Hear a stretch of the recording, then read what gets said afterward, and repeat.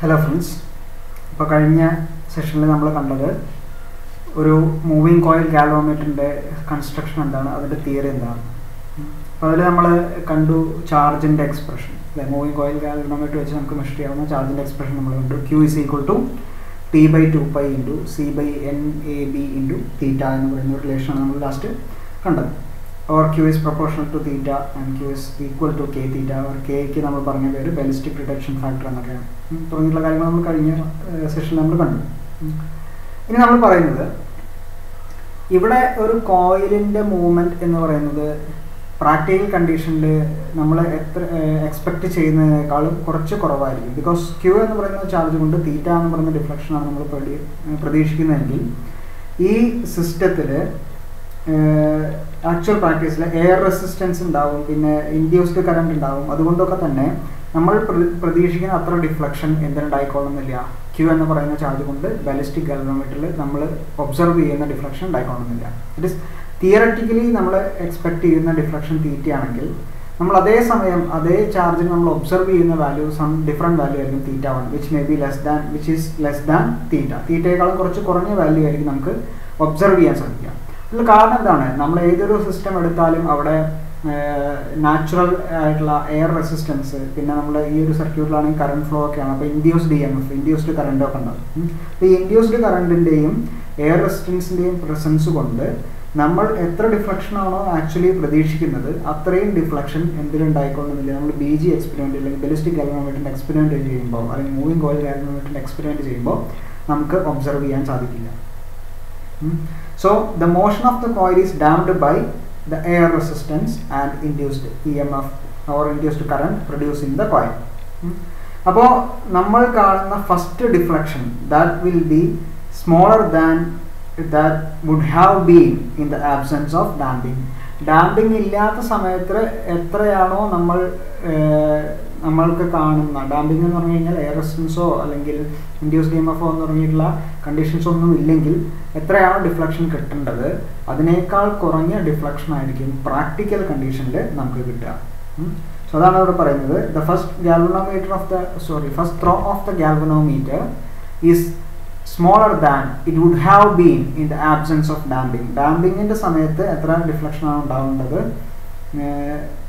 കാണുന്നത് അത് ഡാമ്പിംഗ് ഇല്ലാത്ത സമയത്ത് കാണുന്ന ഡിഫ്ലക്ഷനേക്കാളും കുറവായിരിക്കും ഓക്കെ നമ്മൾ പറയുന്ന കാര്യത്രേ ഉള്ളൂ ഇത് ഒ സീറോ എന്ന് പറയുന്ന ഒ എന്ന് പറയുന്നത് നമ്മുടെ പൊസിഷനാണ് നമ്മുടെ സീറോ അതിൻ്റെ മീൻ പൊസിഷൻ എന്ന് പറയാം സപ്പോസ് ക്യൂ എന്ന് പറയുന്ന ചാർജ് ഫ്ലോ ചെയ്യുന്നുണ്ടെങ്കിൽ ആ ചാർജിന് കറസ്പോണ്ടിങ് ആയിട്ട് ഒരു ഡിഫ്ലക്ഷൻ ഉണ്ടാവും ഓക്കെ നമ്മൾ കൺസിഡർ ചെയ്യും എയർ റെസിസ്റ്റൻസോ അല്ലെങ്കിൽ ഇൻഡ്യൂസ് ഡി എം എഫോ അല്ലെങ്കിൽ ഇൻഡ്യൂസ് കറണ്ടോ ഒന്നും നമ്മൾ കൺസിഡർ ചെയ്യുന്നില്ലെങ്കിൽ ഡിഫ്ലക്ഷൻ ഉണ്ടാവുന്ന ഡിഫ്ലക്ഷൻ നമുക്ക് ഇവിടെ കിട്ടിയ എക്സ്പ്രഷൻ പോലെ Q is proportional to theta ക്യൂവിന് കറസ്പോണ്ടിങ് ആയിട്ടുള്ള ക്യൂ എന്ന് പറഞ്ഞാൽ അതിന് കറസ്പോണ്ടിങ് ആയിട്ടുള്ള ഡിഫ്ലക്ഷൻ തീറ്റയാണ് ആക്ച്വലി വരേണ്ടത് പക്ഷേ പ്രാക്ടിക്കൽ കണ്ടീഷനിലൊക്കെ അല്ലെങ്കിൽ റിയൽ കണ്ടീഷൻസിലൊക്കെ എയർ റെസിസ്റ്റൻസ് അല്ലെങ്കിൽ ഇൻഡ്യൂസ്ഡ് കറണ്ട് തുടങ്ങിയതിൻ്റെയൊക്കെ പ്രസൻസ് കൊണ്ട് തന്നെ ഒരു moving coil galvanometer moving coil ballistic ഗാൽവനോമീറ്ററിൽ നമ്മൾ ഒബ്സർവ് ചെയ്യുന്ന ഡിഫ്ലക്ഷൻ എന്ന് പറയുന്നത് തീറ്റ വൺ എന്ന് പറയുന്ന ഒരു വാല്യൂ ആയിരിക്കും ഫസ്റ്റ് ഡിഫ്ലക്ഷൻ എന്ന് പറയുന്നത് തീറ്റ എന്ന് പറയുന്ന ഒരു വാല്യൂ ആയിരിക്കും which is less than theta തീറ്റയെക്കാളും കുറഞ്ഞൊരു വാല്യൂ ആയിരിക്കും നമുക്ക് ആക്ച്വലി കിട്ടുക ഓക്കെ അപ്പോൾ നമുക്ക് നമ്മൾ ചെയ്ത തിയറി പ്രകാരം Q is equal to D by two by two C by N B ആണെങ്കിൽ തീറ്റ എന്നൊക്കെയാണ് നമ്മൾ ചെയ്തത് അല്ലേ അപ്പോൾ ദർ ഈസ് തീറ്റയല്ല നമുക്ക് മെഷർ ചെയ്യുന്നത് നമ്മൾ മെഷർ ചെയ്യുന്നത് തീറ്റാവണേ മെഷർ ചെയ്യുന്നുള്ളൂ അപ്പോൾ തീറ്റയും തീറ്റാവണും തമ്മിലുള്ള relation that is absence of damping damping ഒന്നും ഇല്ലാത്ത സമയത്ത് കിട്ടുന്ന ഡിഫ്ലക്ഷനും റിയൽ കണ്ടീഷനിൽ കിട്ടുന്ന തീറ്റാവൺ എന്ന് പറയുന്ന ഡിഫ്ലക്ഷൻ തമ്മിലുള്ള റിലേഷൻ നമുക്ക് കണ്ടുപിടിക്കണം അതാണ് നമ്മളിവിടെ ചെയ്തു വരുന്ന കാര്യം ഓക്കെ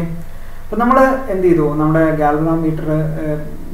അതിൻ്റെ കൺസ്ട്രക്ഷൻ നമ്മൾ പറഞ്ഞു അതിനനുസരിച്ച് നമ്മൾ എന്ത് ചെയ്തു ഗാൽവനോമീറ്ററിലൂടെ സപ്പോസ് ക്യൂ എന്ന് പറയുന്ന എമൗണ്ട് ഓഫ് ചാർജ് ഫ്ലോ ചെയ്യിക്കും അപ്പോൾ ആ സമയത്ത് ഗാൽവാമീറ്ററിൽ എന്ത് ചെയ്യുന്നുണ്ട് ഡിഫ്ലക്ഷൻസ് ഒരു ഓസിലേറ്ററി മോഷനാണ് അല്ലെങ്കിൽ ഓസിലേഷനാണ് നമ്മൾ കാണുന്നത് അതിൽ ഫസ്റ്റ് ഡിഫ്ലക്ഷൻ ആക്ച്വലി നമ്മൾ എക്സ്പെക്ട് ചെയ്യുന്നത് തീറ്റ ആണെങ്കിലും നമുക്ക് കിട്ടുന്ന തീറ്റ തീറ്റാണ് വരെയുള്ളൂ സപ്പോസ് ടെൻ മില്ലിമീറ്റർ ആണ് ഡിഫ്ലക്ട് ചെയ്യേണ്ടത് പക്ഷെ നമ്മൾ ശരിക്കും പറഞ്ഞാൽ ചാർജ് ഇല്ലെങ്കിൽ ഡാമ്പിംഗ് ഒന്നും ഇല്ലെങ്കിൽ ടെൻ മില്ലിമീറ്റർ ആണ് ഡിഫ്ലക്ട് ചെയ്യേണ്ടത് പക്ഷെ പ്രാക്ടിക്കലി നമ്മൾ കഴിഞ്ഞാൽ ചിലപ്പോൾ may be nine point nine ചെറിയൊരു ഡിഫറൻസ് അതിൽ ഉണ്ടായേക്കാം അപ്പോൾ ആ ഡിഫറൻസ് കൂടി നമ്മൾ കൺസിഡർ ചെയ്തതാണ് and that will be theta one നമ്മൾ മെഷർ ചെയ്തത് തീറ്റ വൺ ആണ് പക്ഷെ എക്സ്പെക്റ്റ് ചെയ്തത് എന്താണ് തീറ്റയാണ് ഓക്കെ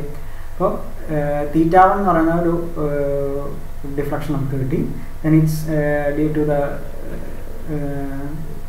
എന്താ പറയുക റീസ്റ്റോറിങ് കപ്പിൾ റീസ്റ്റോറിങ് ടോർക്ക് കൊണ്ട് എന്ത് ചെയ്യുന്നു ഇത് ഓപ്പോസിറ്റ് തിരിച്ചു വരുന്നു and moves to the opposite direction theta two എന്ന് പറയുന്ന ഡിഫ്ലക്ഷൻ നമുക്ക് കിട്ടുന്നു ദെൻ റൈറ്റിലേക്ക് പോകുന്നു തീറ്റ ത്രീ തീറ്റ ഫോർ അങ്ങനെ ഓരോ ഡാമ്പിങ് കൂടുന്നതിനനുസരിച്ച് ഇതിങ്ങനെ ഓസിലേറ്റ് ചെയ്തുകൊണ്ടേയിരിക്കും ഓക്കെ അപ്പോൾ തീറ്റ വണ്ണും തീറ്റ ടു ഒക്കെയാണ് നമ്മുടെ maximum deflections from zero to the right and left ചെയ്ത് തീറ്റ ത്രീ എന്ന് പറയുമ്പോൾ എന്തായി അത് തീറ്റ ടു കഴിഞ്ഞിട്ട് അടുത്ത് തീറ്റ ടു കഴിഞ്ഞാൽ പിന്നെ ഇവിടെ എത്തുമ്പോഴേക്കും തീറ്റ ടുവിന് അത്ര വാല്യൂ തന്നെ വന്നോളുന്നില്ല കുറച്ചുകൂടി കുറഞ്ഞ് തീറ്റ ത്രീ എന്ന് ദെൻ തീറ്റ ഫോർ എന്ന് പറഞ്ഞാൽ നമ്മൾ ആദ്യം പത്താണ് എക്സ്പെക്ട് ചെയ്യുന്നത് പക്ഷേ നമുക്ക് കിട്ടിയത് ഫസ്റ്റ് നയൻ പോയിൻ്റ് നയൻ കിട്ടി ഇവിടെ ലെഫ്റ്റ് സൈഡിലേക്ക് നയൻ പോയിൻറ്റ് എയ്റ്റ് ആയി റൈറ്റ്സിലേക്ക് നയൻ പോയിന്റ് സെവൻ ആയി പിന്നെ നയൻ പോയിന്റ് സിക്സ് ആയി നയൻ പോയിന്റ്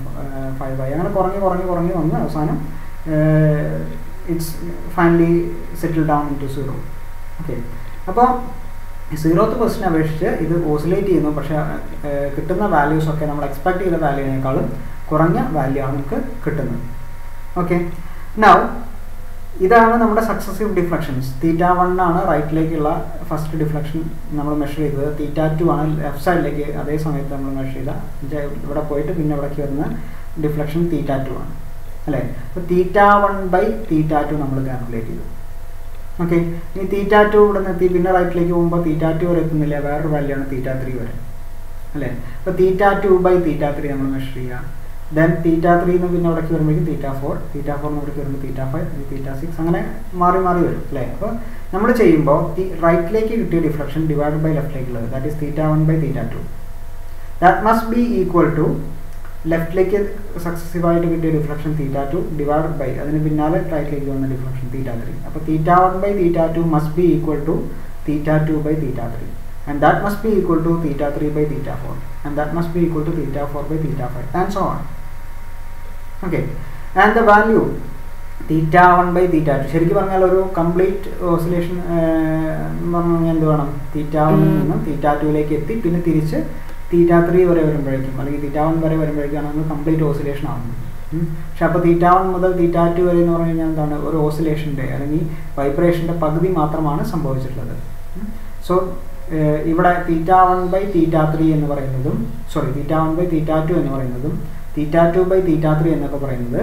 ഡിക്രിമെന്റ് ആണ് decrement per half vibration complete vibration ആയില്ല थीटा 1 / थीटा 2 വന്നാൽ वाइब्रेशन ഒക്കെ മാത്രമേ എത്തുന്നുണ്ട് അതുകൊണ്ടാണ് ഹാഫ് വൈബ്രേഷൻ വരുന്നത് so the ratio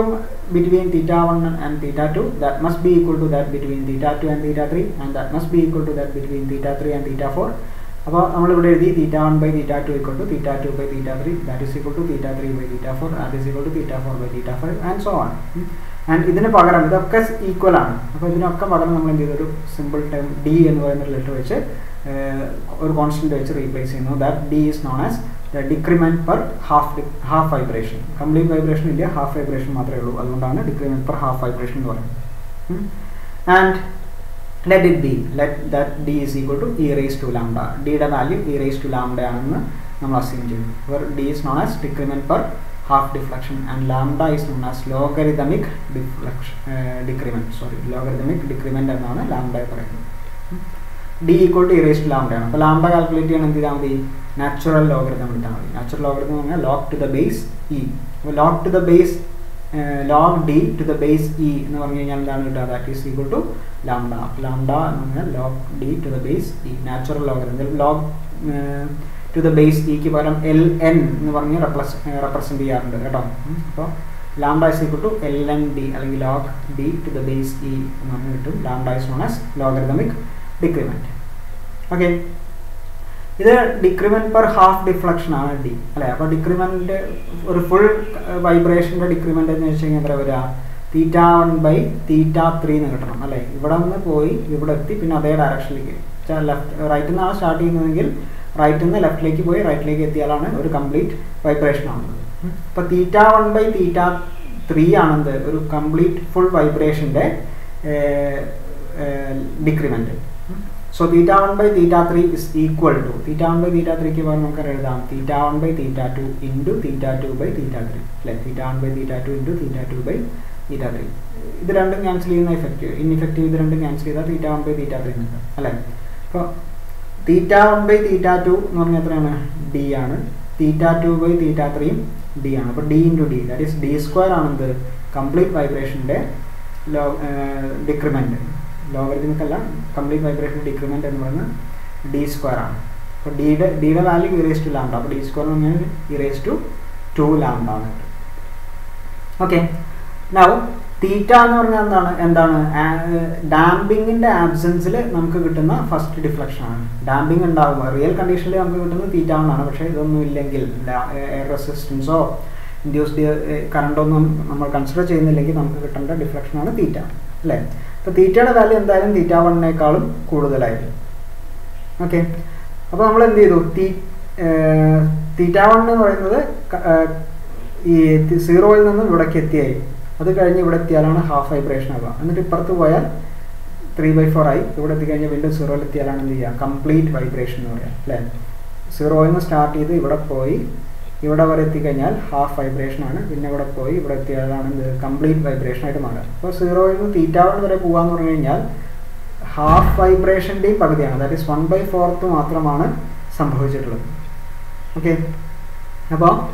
theta by theta one എന്ന് പറയുന്നത് e raise to lambda by two ആയിട്ടാണ് മാറുക e raise to two lambda ആണ് എന്ത് theta one by theta three അല്ലേ theta one by theta three ആണ് e raise to two lambda ആണ് that means complete വൈബ്രേഷൻ്റെ ഇവിടുന്നാണ് സ്റ്റാർട്ട് ചെയ്യുന്നതെങ്കിൽ ഇവിടുന്ന് ഇങ്ങനെ പോയി ഇവിടെ പോയി ഇവിടെ തിരിച്ചെത്തുന്നതാണ് കംപ്ലീറ്റ് വൈബ്രേഷൻ അല്ലേ ഇവിടുന്ന് ഇതുവരെ മാത്രമുള്ള കണ്ടീഷൻ കൺസിഡർ ചെയ്താൽ എന്താ വരിക one by fourth of complete vibration ആണ് വരിക അപ്പോൾ one by four e raise to two lambda into one by four എന്നാണ് ആക്ച്വലി കിട്ടുക അതായത് e raise to lambda by two അങ്ങനെയാണ് നമുക്ക് ഇവിടെ theta by theta one is to e raise to lambda by two എന്ന് പറയുന്ന എക്സ്പ്രഷൻ കിട്ടുന്നത് അപ്പോൾ ലോഗരിതം എടുക്കുക ഇറേസ് e ടു ആ ഇറേസ് ടു എക്സിൻ്റെ expansion e raise to X when X is small erase to X is equal to one plus X plus X square plus എന്ന് പറഞ്ഞിട്ടുള്ള expansion ഉണ്ട് ആ എക്സ്പാൻഷനാണ് നമ്മളിവിടെ യൂസ് ചെയ്യുന്നത് അപ്പോൾ ഇറേസ് e ടു എക്സിൻ്റെ സ്ഥാനത്ത് ഇവിടെ ഉള്ളത് ലാംഡ ബൈ ടു ആണ് and we are neglecting the higher order powers അപ്പോൾ theta by theta one is approximately equal to not exactly is approximately is equal to one plus lambda by two എന്ന് കിട്ടും e raise to എക്സിൻ്റെ expansion one plus X എന്നുള്ള പോലെ തന്നെ e raise to lambda by two എന്നുള്ളത് one plus lambda by two ആയിട്ട് എഴുതും അപ്പോൾ theta by theta one is equal to one plus lambda by two എന്ന് കിട്ടും from that theta is equal to theta one into one plus lambda by two ആയിട്ട് മാറ്റി എഴുതാം okay അപ്പോൾ തീറ്റയും തീറ്റ വൺ തമ്മിലുള്ള റിലേഷൻ കിട്ടി തീറ്റ ആക്ച്വലി നമ്മൾ മെഷർ ചെയ്യുന്നതാണ് തീറ്റ എന്ന് പറഞ്ഞാൽ നമ്മളെ ഡാമ്പിങ് ഇല്ലാതെ നമ്മളെ റിലേഷനിൽ വരുന്ന എക്സ്പ്രഷനാണ് തീറ്റ അല്ലേ അപ്പോൾ ക്യൂവിന്റെ എക്സ്പ്രഷൻ കഴിഞ്ഞാൽ ക്യൂ സി ഈക്വൾ നമുക്ക് എഴുതാം T by two by two C by N B two theta തീറ്റയ്ക്ക് പകരം നമ്മൾ കൊടുക്കുന്നു theta one into one plus lambda by two this is the actual expression for charge theta one ആണ് നമ്മൾ observe ചെയ്യുന്ന quantity അപ്പോൾ നമുക്ക് എത്ര ചാർജ് ഫ്ലോ ചെയ്തു എന്നറിയാൻ നമ്മൾ ഉപയോഗിക്കേണ്ട റിലേഷൻ ഇതാണ് നമുക്ക് ഇവിടെ ആക്ച്വലി തീറ്റ എന്താണെന്ന് നമുക്ക് കിട്ടില്ല തീറ്റ എന്ന് പറയുന്നത് ഡാമ്പിംഗ് ഇല്ലാത്ത സമയത്ത് മെഷർ ചെയ്യുന്നത് പക്ഷെ നമ്മൾ മെഷർ ചെയ്യുമ്പോൾ എന്തായാലും ഡാമ്പിംഗ് ഉള്ളത് കൊണ്ട് തീറ്റ കൊണ്ടാണ് നമുക്ക് കിട്ടുക അപ്പോൾ ക്യൂ കാൽക്കുലേറ്റ് ചെയ്യാൻ നമ്മൾ ഈ എക്സ്പ്രഷനാണ് യൂസ് ചെയ്യുന്നത് ഈ എക്സ്പ്രഷൻ എക്സ്പ്രഷൻ യൂസ് ചെയ്യുമ്പോൾ നമുക്ക് ഇതെല്ലാം അറിയാമെങ്കിലും ലാംഡ എന്ന് പറയുന്ന ലോഗരിതമിക് ഡിക്രിമെൻ്റ് അറിയില്ല അപ്പോൾ ലോഗരിതമിക് ഡിക്രിമെൻ്റ് കാൽക്കുലേറ്റ് ചെയ്യാണ് നമുക്ക് അടുത്ത സ്റ്റെപ്പിൽ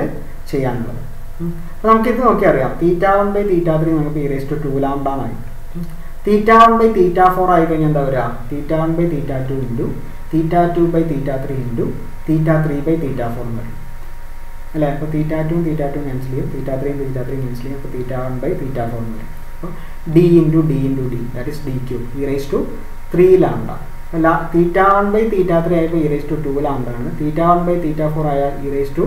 ത്രീ ലാംഡ വരും theta one by theta five ആയി കഴിഞ്ഞാൽ ഇ റേസ് ടു ഫോർ ലാംഡാന്ന് വരും അപ്പോൾ ലാസ്റ്റ് വരുന്ന നമ്പറിൽ അപ്പോൾ ത്രീ ആണെങ്കിൽ two e raise to two lambda വരും ഇത് സെവൻ ആണെങ്കിൽ ഇ റേസ് ടു സിക്സ് ലാംഡാന്ന് വരും ഇത് എയ്റ്റ് ആണെങ്കിൽ ഇ റേസ് ടു സെവൻ ലാംഡാന്ന് വരും അപ്പം നമുക്ക് ഈ ഇതൊരു എക്സ്പെരിമെൻ്റ് ആയിട്ട് നമ്മൾ ചെയ്യുമ്പോൾ generally theta one by theta eleven ആണ് ചെയ്യാറ് നമുക്ക് അതന്നെ തന്നെ ചെയ്യണം എന്ന് നിർബന്ധമൊന്നുമില്ല നമുക്ക് ഇവിടെ സാധാരണ ടെൻ വൈബ്രേഷൻസിൻ്റെ ടെൻ ഓസിലേഷൻസിൻ്റെ കണ്ടീഷനാണ് എടുക്കുന്നത് എന്നുള്ളത് കൊണ്ട് തന്നെ ആണ് ഇത് പറയുന്നത് നമുക്ക് തീറ്റ വണ്ണും തീറ്റ സിക്സും ആണ് തന്നിട്ടില്ലെങ്കിൽ അത് വെച്ചിട്ട് നമുക്ക് ലാംഡ കാൽക്കുലേറ്റ് ചെയ്യാം theta one by theta six എന്ന് പറഞ്ഞു കഴിഞ്ഞാൽ ഈ റേസ് ടു ഫൈവ് ലാംഡയാണ് അപ്പോൾ അതിന് നമുക്ക് ലാംഡ കാൽക്കുലേറ്റ് ചെയ്യാൻ പറ്റും ഇവിടെ theta one by theta eleven ആണ് എടുത്തിട്ടുള്ളത് ബിക്കോസ് ഫസ്റ്റ് ത്രോയും അങ്ങനെ ലെവൻത്ത് ത്രോയും eleventh deflection first two three four five six അങ്ങനെ ലെവൻത്ത് ഡിഫ്ലക്ഷൻ വരെ നമ്മൾ കാൽക്കുലേറ്റ് ചെയ്യുകയാണ് ചെയ്യുന്നത് അപ്പോൾ theta 1 by theta 2 into theta 2 by theta 3 into theta 3 by theta 4 into theta 4 by theta 5 theta 5 by theta 6 into theta 6 by theta 7 അങ്ങനെ into theta 7 by theta 8 theta 8 by theta 9 theta 9 by theta 10 theta 10 into sorry theta 10 by theta 11 അപ്പോൾ ഇതിൽ നമുക്ക് cancel ചെയ്യാം ഇതൊക്കെ theta 2 കളെ cancel ചെയ്യാം 3 കളെ cancel ചെയ്യാം theta 4 theta 5 ഒക്കെ ക്യാൻസൽ ചെയ്യാം ബാക്കി വരാം ഇവിടെ ഒരു തീറ്റ വണ്ണും ഈ ഒരു തീറ്റ ലെവൻ മാത്രം അല്ലേ അപ്പോൾ theta one by theta eleven എന്ന് പറഞ്ഞു കഴിഞ്ഞാൽ എത്ര തവണ നമ്മൾ ഡി കൊണ്ട് മൾട്ടിപ്ലൈ ചെയ്യണം ഒന്ന് രണ്ട് മൂന്ന് നാല് അഞ്ച് ആറ് ഏഴ് എട്ട് ഒമ്പത് പത്ത് അല്ലെ ഡി റേസ് ടു ടെൻ വരും ഡി എന്ന് പറഞ്ഞു കഴിഞ്ഞാൽ ഈ റേസ് ടു ലാംഡ ഈ raise to lambda raise to ten എന്ന് പറഞ്ഞു കഴിഞ്ഞാൽ ഈ റേസ് ടു ടെൻ ലാംഡ എന്ന് കിട്ടും അപ്പോൾ theta one by theta eleven എന്ന് പറഞ്ഞു കഴിഞ്ഞാൽ എന്താണ് ഈ റേസ് ടു ടെൻ ലാംഡയാണ് നമുക്ക് ലാംഡ ആണ് കണ്ടുപിടിക്കേണ്ടത് അപ്പോൾ എന്ത് ചെയ്യണം നാച്ചുറൽ ലോഗരുത് എടുക്കുക നാച്ചുറൽ ലോഗരുത് എടുത്തു കഴിഞ്ഞാൽ ലോഗ്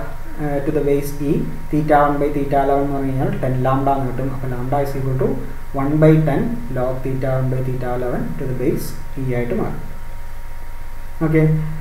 ഈ നാച്ചുറൽ ലോകരഥത്തിനെ ഓർഡിനറി ലോകരഥമായിട്ട് മാറ്റണമെങ്കിൽ log to the base ten ആക്കി മാറ്റണമെങ്കിൽ എന്ത് ചെയ്താൽ മതി two point three not two six കൊണ്ട് മൾട്ടിപ്ലൈ ചെയ്താൽ മതി so two point three not two six by ten log theta one by theta eleven to the base ten ശ്രദ്ധിക്കുക to the base ten ആണിത് ഇത് ടു ദ ബേസ് ഇ ആണ് okay to the base ഇനെ to the base ten ആക്കാൻ എന്ത് ചെയ്താൽ മതി two point three not three two point three not three അല്ലെങ്കിൽ two point three not two six കൊണ്ട് മൾട്ടിപ്ലൈ ചെയ്താൽ മതി അപ്പോൾ നമുക്ക് എന്ത് കിട്ടി ഈ എക്സ്പ്രഷനിൽ നമുക്ക് എന്ത് കിട്ടും ലാംഡേ കിട്ടും ടൈം പീരീഡ് നമുക്ക് കാൽക്കുലേറ്റ് ചെയ്യാം ഇത് കോൺസ്റ്റൻസ് ആണ് C couple per unit constant ആണ് നമ്പർ ഓഫ് ടേൺസ് കോൺസ്റ്റൻ്റ് ആണ് ആൻറ്റി ഫീൽഡ് ബി കോൺസ്റ്റൻ്റ് ആണ് ഏരിയ കോൺസ്റ്റൻ്റ് ആണ് തീറ്റ വൺ എന്ന് പറയുന്നത് നമുക്ക് ബി ജിയിൽ ആ മിററിൽ ലൈറ്റ് എത്രത്തോളം ഡിഫ്ലക്റ്റ് ചെയ്തു എന്നുള്ള സ്കെയിലിൽ തന്നെ നമുക്ക് കിട്ടും അപ്പോൾ ഇതൊക്കെ ഡയറക്റ്റ്ലി ഒബ്സർവബിൾ ക്വാണ്ടിറ്റീസ് ആണ് അത് വെച്ചിട്ട് നമുക്ക് എന്ത് കാൽക്കുലേറ്റ് ചെയ്യാം ഈ കോയിലൂടെ ഫ്ലോ ചെയ്യുന്ന ചാർജ് ക്യൂ കാൽക്കുലേറ്റ് ചെയ്യാൻ സാധിക്കും ഓക്കെ സോ ദിസ് ഇസ് ഇവിടെ നമ്മൾ എന്ത് ചെയ്യുന്നുണ്ട് നമ്മുടെ എയർ റെസിസ്റ്റൻസ് കൊണ്ടുണ്ടായ അല്ലെങ്കിൽ ഇൻഡ്യൂസ് എയർ റെസിസ്റ്റൻസ് കൊണ്ടും ഇൻഡ്യൂസ്ഡ് കറണ്ട് കൊണ്ടും ഒക്കെ ഉണ്ടാകുന്ന ഡാമ്പിംഗ് അടക്കം കൺസിഡർ ചെയ്തിട്ട് റിയൽ കേസിൽ നമ്മൾ ഉപയോഗിക്കുന്ന എക്സ്പ്രഷനാണ് ഇവിടെ ഈ കാണിച്ചിട്ടുള്ളത്